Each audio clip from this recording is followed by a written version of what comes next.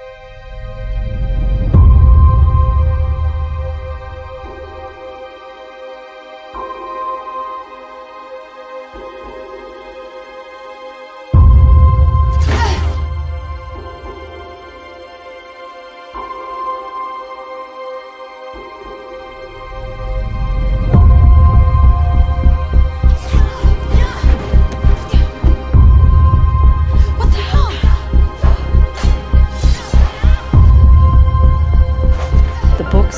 me find a word for myself.